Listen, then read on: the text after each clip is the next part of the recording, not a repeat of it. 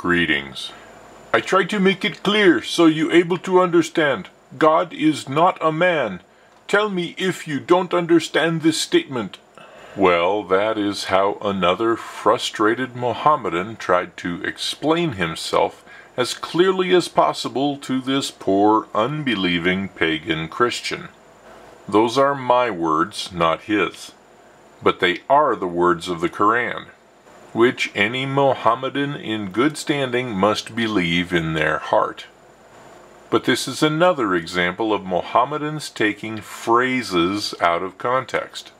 So in this video I would like to address this phrase and explain why it should actually have no bearing on your Christianity as far as tricking you into Islam. Because this is the whole logic of Mohammedans who toss this out. God is not a man. Jesus was a man. Therefore Jesus cannot be God. You have to understand and appreciate the ignorant oversimplification of this kind of Islamic teaching and thinking. It is comprised of very simple, howbeit inaccurate and incomplete, statements. But that really is the point of the thinking level of Islam. About as deep as the glass fish bowl on a grand piano. But the poor stupid fish trapped inside still thinks it is the ocean. God is not a man. Well then, what is God?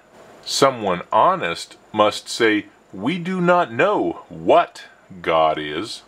We can only know some things about God, things that He has revealed about Himself. God is not a man. Would you say God is like a man? Well, all those who claim to be Muslim are shouting, No! right now. God is not like a man. Well, O Muslim, every man is unique. Every man is one spirit, indivisible. Each man is the only one like him in existence, ever. Each man is alone, unique. Unique fingerprints, unique DNA.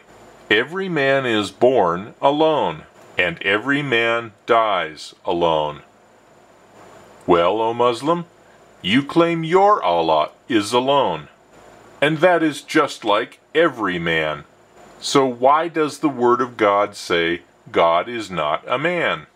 To teach you, O Muslim, how God is different than a man. God is not a man that he should lie. Read the whole statement, O Mohammedan.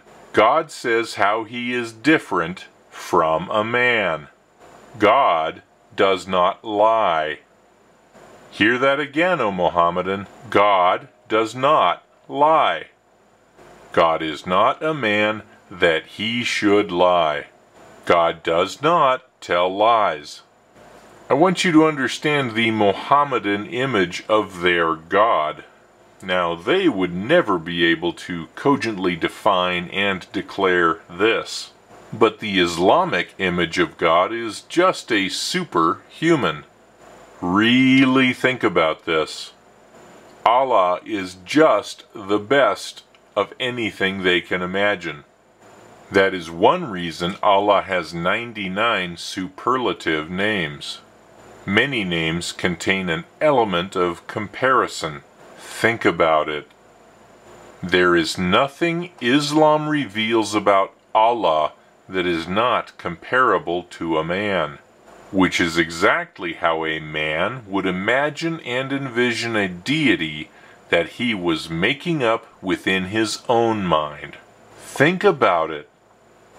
And I think this is a huge difference with the God of Abraham who has revealed his triune essence. No man could imagine such a thing. But getting back to the statement, God is not a man, did you know this actually comes from the Bible? Numbers 23:19 God is not a man that he should lie, neither the son of man that he should repent or change his mind.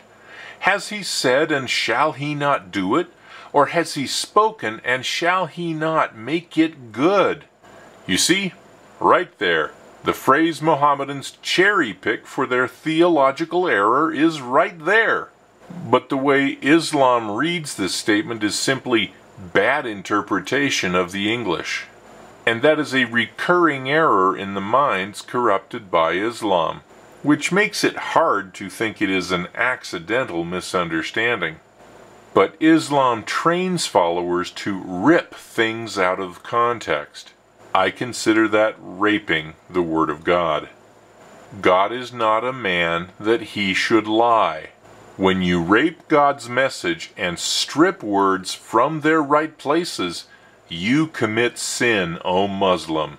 Do you really think you can be in the middle of such sin and still have guidance from the Almighty? If there are two behaviors that would forever convince me to never ever consider Islam, it is these. They universally rape the context of a message they claim they respect. They universally disregard fact and logic, which is intellectually bankrupt. God is not a man that he should lie. God is not a man that he should lie, neither the Son of Man that he should repent or change his mind. Has he not said, and shall he not do it? Or has he spoken, and shall he not make it good? This whole passage is about God and his Word being good. God's Word is trustworthy, and God does not have to swear by the moon. I've been studying Islam recently, and in particular, Allah's need to swear by things. This is not a video about just how many issues this really creates about the alleged deity of Islam. But even as I am addressing the phrase, God is not a man, it jumps out that this phrase comes from a context teaching that God's Word can be trusted and in stark contrast to Mohammed's deity, who must swear to give his words assurance, the Almighty God of the Bible gives teaching and instruction and descriptions of himself to establish his word. My word is trustworthy. If I said it, I will do it. I am not a man, and not like a man, because men tell lies. The contrast here is really vast and absolute.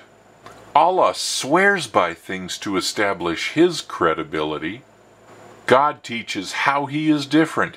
His words have authority because He is God and He does not lie.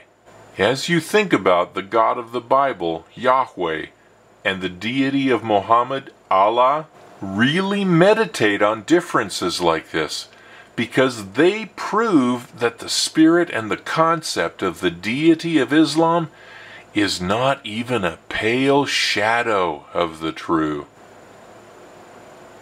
Boy, this video did not go in the direction I was intending when I began. I'll have to get back to that when I have time for part two.